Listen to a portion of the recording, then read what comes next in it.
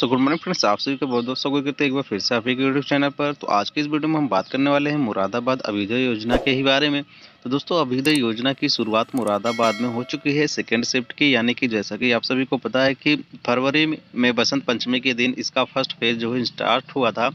और यहाँ पर फ़र्स्ट फ़ेज़ के स्टूडेंट यहाँ पर इसमें प्रशिक्षण ले चुके हैं। और सेकेंड फ़ेज़ के लिए दोस्तों, यहाँ पर जो है आप लोगों ने भी एक डेढ़ महीने ही ऑनलाइन आवेदन किए थे।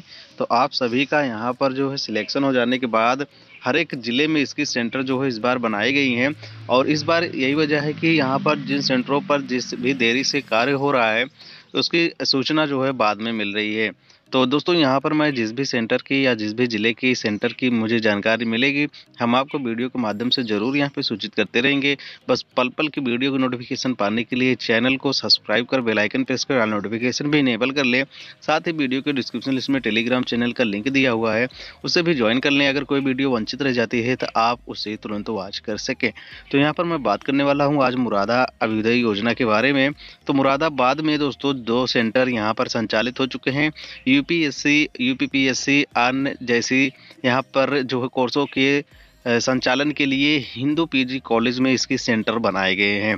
और यहीं पर एनडीए, नीट, जेई के एट्सेट्रा जितने भी यहाँ पर इसकी कैटेगरी में आते हैं, उनकी यहाँ पर जो है कोर्सेज़ के लिए, प्रशिक्षण के लिए राजकीय महिला पॉलिटेक्निक एट होम पर जो है इसका सेंटर संचालित किया हुआ है। यहाँ पर दोस्तों आपको एक छोटी सी वीडियो के माध्यम से पूरी जानकारी यहाँ पर जो है दिखाने वाले हैं। तो यहाँ पर एक न्यूज़ सबसे पहले आप वॉच कर लें। अगर वीडियो अच्छा लगे तो ज़रूर शेयर करें।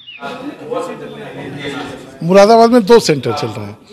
I I S P C S की कोचिंग हिंदू पीजी कॉलेज में और जो जेई नीट और एनडीए सीडीएस की क्लासेज हैं वो गवर्नमेंट महिला पॉलिटेक्निक में चल रही हैं। इनका यहाँ ये आज के डेढ़ महीने पहले बच्चों ने ऑनलाइन अप्लाई किया था पूरे प्रदेश के और ऑनलाइन इनकी परीक्षा हुई थी पात्रता परीक्षा। और परीक्षा के आधार पर जो लोग चयनित हुए थे उनकी सूची हम लोगों को लखनऊ से प्राप्त हुई थी। तो यहाँ पर दोस्तों आपने एक लाइव न्यूज़ के माध्यम से सुना, जिसमें जो है यहाँ पर खुद जो महोदयों के द्वारा बताया जा रहा है। कि इनका सेंटर जो है दो सेंटरों पर बनाया गया है और यहाँ पर यूपीएससी यूपीपीएससी के लिए और एनडीए के लिए दोनों अलग अलग बनाए गए हैं। तो दोनों में जो है कोर्सेज स्टार्ट हो जाएँगे। आप लोग अगर इसकी सूचना आप लोगों को अभी तक नहीं मिली है और तो यहाँ पर इन सेंटरों पर जाकर के आप इसके बारे में पूरी जानकारी ले सकते हैं। आपको मैंने एड्रेस बता दिया है।